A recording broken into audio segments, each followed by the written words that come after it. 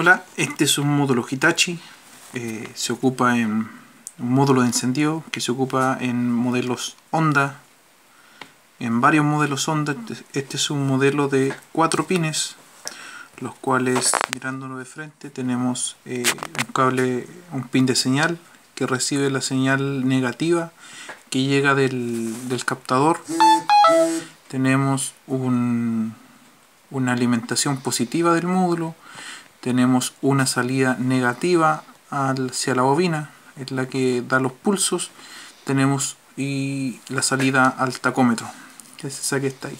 Y el cuerpo da negativo del módulo.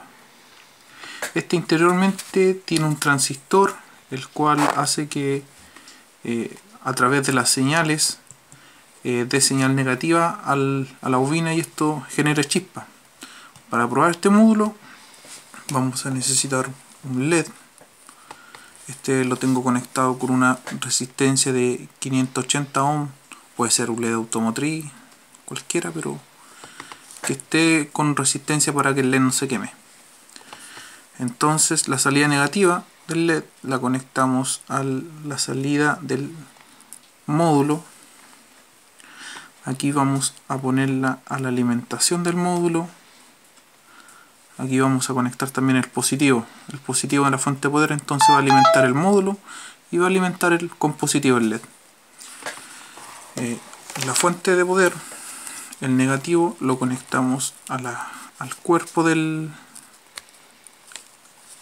del módulo. El positivo los conectamos al positivo y ocupando un cable anexo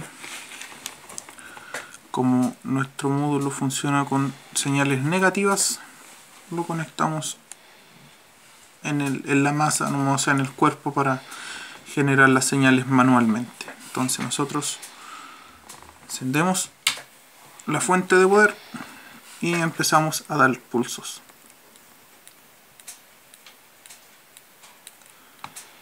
Eso indica que este módulo está funcionando correctamente ya que al generarlo generar los pulsos manualmente en este caso que debe ser el que deba ser el sensor nos envía negativo hacia el led.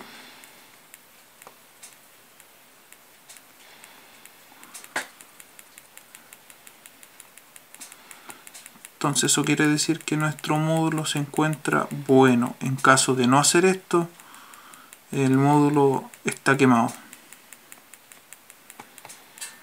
pero ahí es una manera fácil de realizar una, una comprobación si es que este tipo de módulo está bueno.